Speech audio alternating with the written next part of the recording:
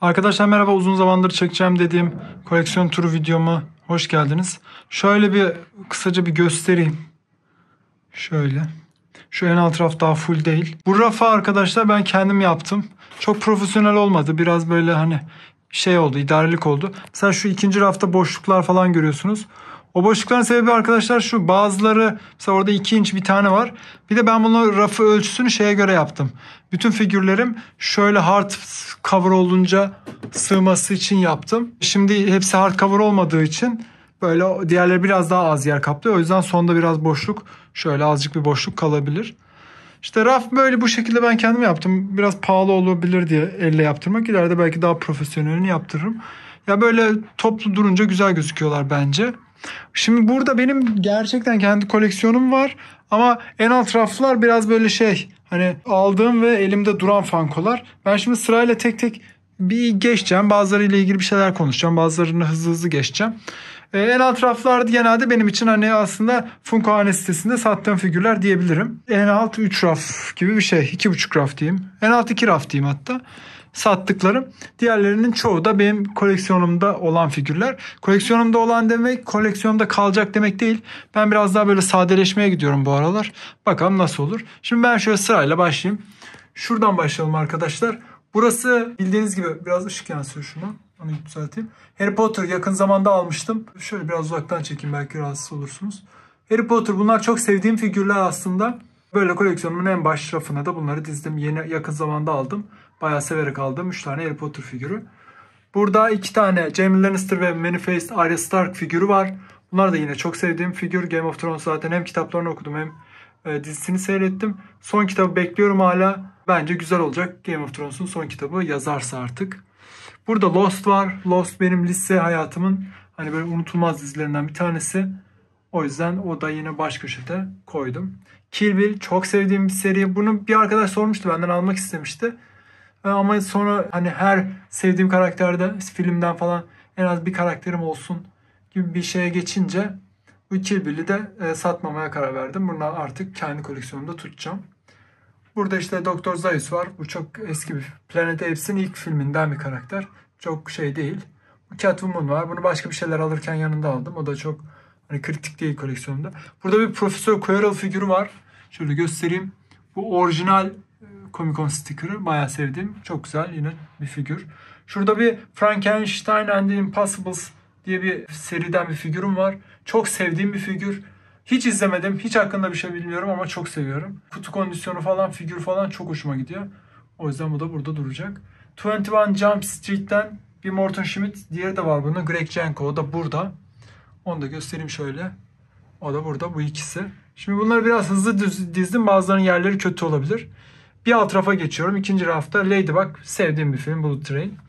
John Wick Chase'im var. Bu koleksiyonumdaki en değerli ikinci figür ya da birinci figür olması lazım. Baya güzel sevdiğim bir figür bu da. Bunu da çok sevdiğim bir arkadaşıma PPG değerinin baya altında bir fiyata vereceğim. Bir sonraki Naruto Tupac. Hashirama Tobirama. Bu Tupac çok hoşuma gitti. Hashirama da benim Naruto'da en sevdiğim karakterlerden bir tanesi. O yüzden fiyatı uygundu o zaman almak istedim koleksiyonda tutacağım hani satmak için almadım. Trinity yine Matrix'ten çok sevdiğim bir seriden bir karakter. Bir karakterim olsun dedim o da Trinity oldu. Superbad izlemediyseniz izleyin. izleyin yine çok güzel bir şey e, dizi. Biraz böyle ışık yansıyor arkadaşlar. O akşam çektiğim için gündüz çeksem bu kadar yapmazdım. E, ışık yakmazdım. E, kusura bakmayın o yüzden. Şurası Big Bang Theory setim. Bunda Whatnot'tan ilk alışverişlerimden biriydi galiba. Gayet güzel bir setim var böyle. Sheldon Cooper, Leonard falan. Hepsi süper kahraman kılığında oldu. Güzel bir set. Chef var. Burada South Park Chef. Gayet güzel. Bunun yeni versiyonu çıktı ama eskisi tabii biraz daha güzel duruyor. Şöyle bir Wasp'ım var. Bu da burada. Ee, yine Chase. Yine çok sevdiğim bir karakter diyemeyeceğim. Vikings çok sevdiğim. Burada bir Ted Lasso var. Benim pişmanlığım ama Ted Lasso'yu aldığım için pişman değilim. Bunu her bu figür çıkınca bahsediyorum ama bu figürle başka bir chase vardı. İki tane chase vardı alabileceğim. Bir tanesi Ted Lasso'ydu. Bir tanesi de Paul Atreides İkisi aynı zamanda aynı fiyata satılıyordu.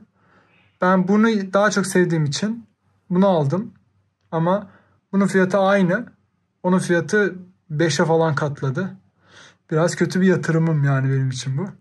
Michelangelo Chase bunu e, forumda birkaç kişiyle, Discord'da birkaç kişi de almıştı.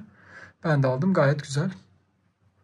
George Michael Blood. Bu Arrested Development benim çok sevdiğim sitcomlardan biri. İzlemediyseniz kesin izleyin arkadaşlar. Burada Penguin sahibi bunları geçiyorum. Burada çok güzel bir iki tane orijinal Green Lantern ve Flash. İkilisi setim var. Bayağı sevdiğim figürler. Bayağı güzel bunlar da. Bir de bunların e, bir tanesi daha vardı. O da şurada Batgirl. Onu da hızlıca göstereyim.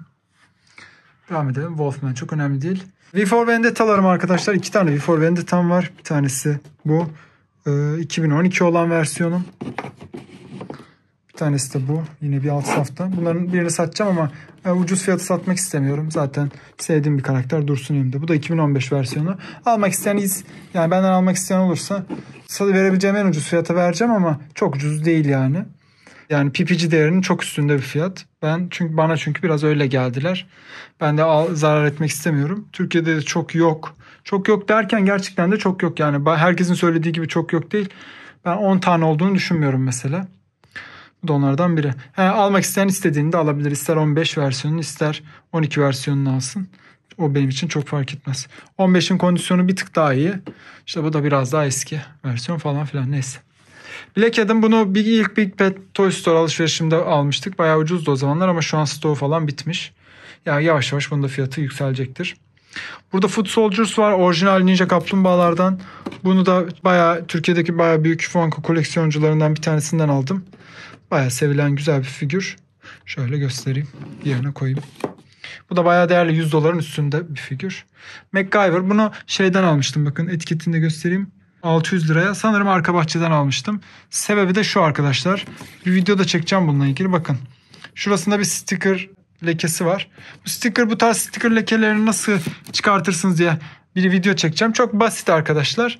Hem bunu da sökerim hem onu da sökerim. Öyle bir videoda çekeceğim. Shorts çekerim muhtemelen. Hani o lekeler nasıl çıkar diye. Basit bir yöntemi var aslında. Birkaç yöntemi var da ben ikisini de çıkartıp göstereceğim videoda. Yani o kadar önemsemedim ki e, hala çıkarmadım duruyor yani. Bunlar yine çok önemli değil ama şu Garbage Pail Kids Adam Bomb bu gayet güzel bir figür. Sevdiğim bir figür. Şu an biraz uzaklaştım gerçi. Çünkü seri tamamlamak istiyordum. Sonra vazgeçtim. Başka şeylere aklım gitti. Bundan bahsettik zaten.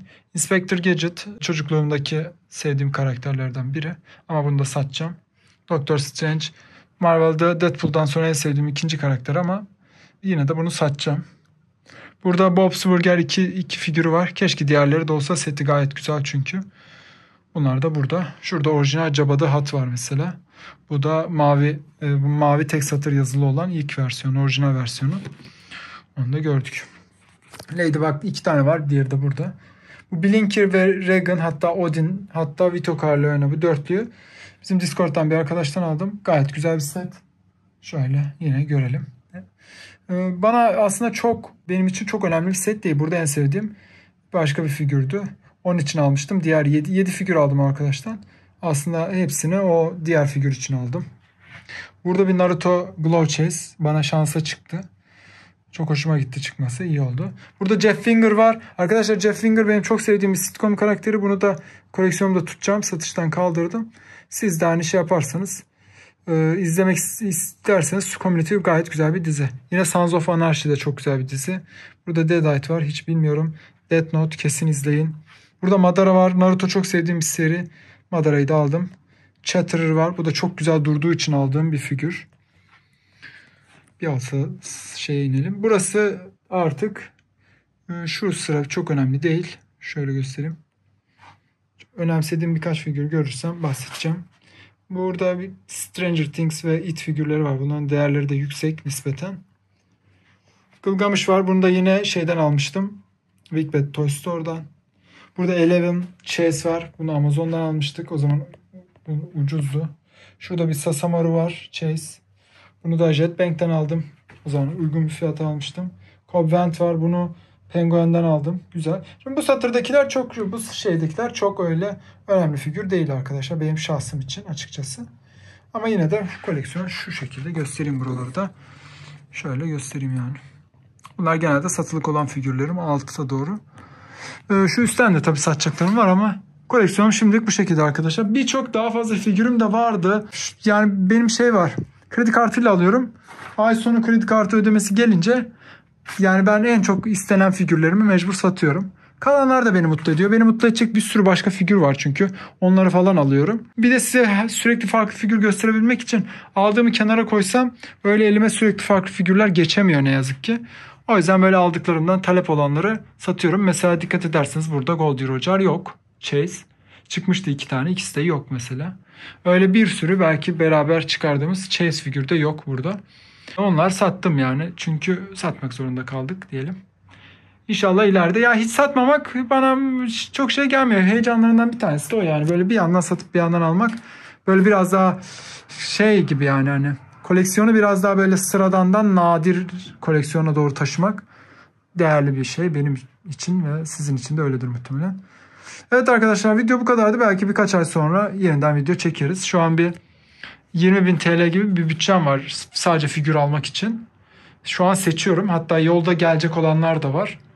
4 tane falan Whatnot'tan figürüm gelecek. Yeni aldım. 4 tane nadir figür yani. Sıradan figür değil. Bakalım. Nadir figür dediğim arkadaşlar yani minimum 2000 liralık falan. Minimum. O şekil figürler. Ama Türkiye 2000 lirası değil yani. Türkiye'de şu figürü 2000 liraya satıyor olabilirler mesela. Şu figürü 2000 liraya satıyor olabilirler. Bu Türkiye 2000 lirası. Hani biraz daha ben şey yurt dışı 2000 lirasından bahsediyorum.